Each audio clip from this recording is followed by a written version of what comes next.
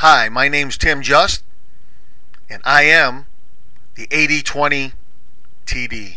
20% effort, 80% bang for your buck. This is part two of our video to teach you how to upload, submit, and check files for a rating report for the USCF online. Last time we left off, we had just uploaded the file. It had been checked by USCF, and we know there's some errors because the Submit Tournament button is grayed out. Do you want to know what those errors are? Remember, you need to go to your email address that you supplied to USCF, or you can come down here and click on the validation report. However, I have found in the past that just by clicking the Edit Tournament and checking out membership issues that I usually can cure any problem that the USCF found. While you're at it, don't forget to check over this information that's filled in in these boxes and make sure it's accurate. The name, the dates, uh, the affiliate. Don't forget, the affiliate has to have you listed as an approved TD in order for you to submit this tournament. The chief TD, often the assistant TD information you placed in your files that got uploaded doesn't seem to get loaded in this box. It's a good chance for you to fill this in now. There are other TDs. Yes, you have to fill this other information in. That's kind of straightforward. Yes, there's other TDs. Uh, you can list them if they were not section heads, but they get TD credit. Over here, don't forget about the game 20 time control. If you're not sure what time control requires a regular, a dual rating, or a quick rating. It's all explained here. I like regular because that's what this tournament was, game 120. And over here, don't forget to check the dates, the section. This is kind of important. The default is non-scholastic. If you ran a scholastic event, don't forget to use the pull-down menu and check scholastic or FIDE or anything else, JTP or non-rated. You can look at another section by choosing it and clicking on Fetch a Section. We're not concerned with that right now. Right now, we want to find that one person that's probably not a member. By the way, notice this little blue box here? What that means at the color coding at the bottom is that those were byes. You might want to look that information over. There's all sorts of color coding here. And if you find an error, you'll be able to point, click, and change the information so that it's accurate.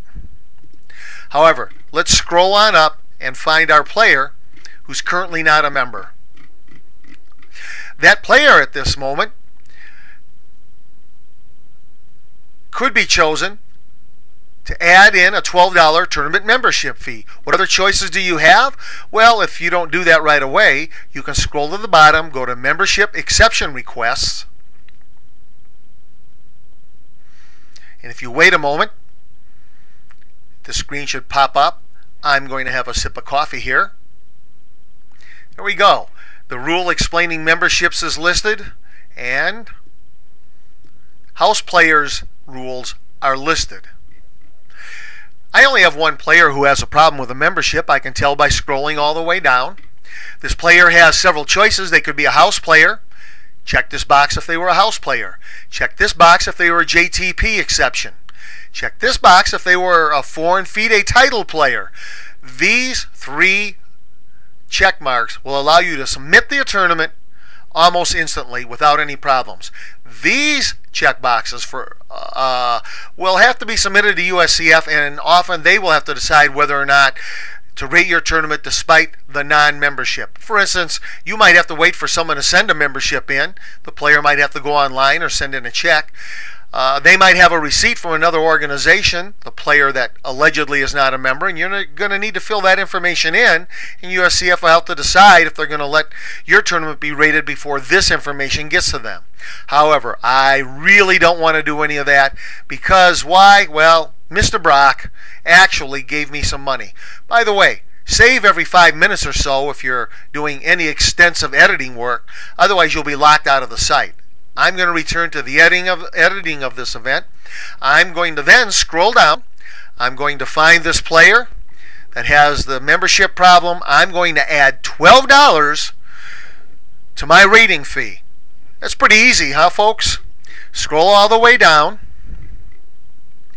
Save the changes. If you forget to save the changes, you're still not going to be able to submit the tournament, and you're going to have to come back to the screen and save the changes at some point before this tournament can be rated. We're going to go back to the same screen we were just looking at. We're going to scroll down again. And this time we need to check the tournament. While you might have made some changes, the tournament still hasn't been checked.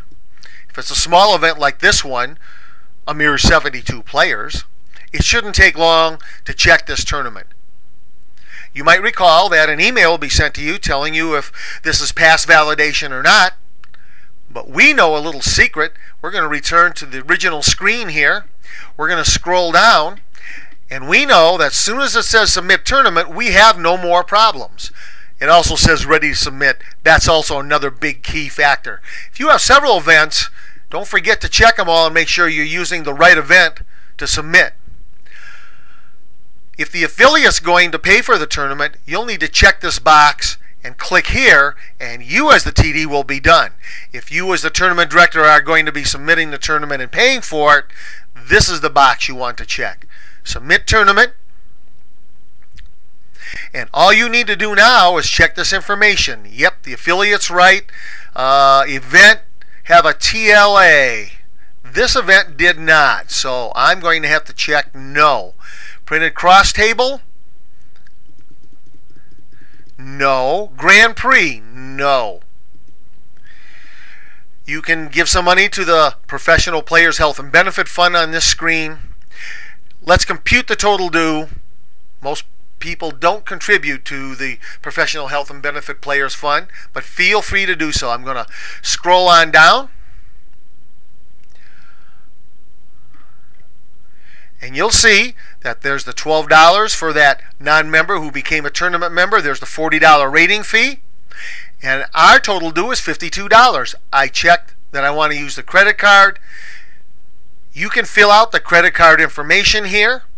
Don't forget to check your compliance. Don't forget to change this information if it's inaccurate. Submitting TD, submitting TD name. Don't forget to fill this information out if someone won $2,000 or more. That affects their player rating. It affects their bottom line. Submit the event for a rating. I won't click this here because everything after this is pretty straightforward and involves your credit card information and my credit card information. Thanks for listening to part two. I hope that your events all run smoothly and they all get rated 10 minutes after the event is over. This has been Tim Just, the National Tournament Director who believes he is the 80-20 TD.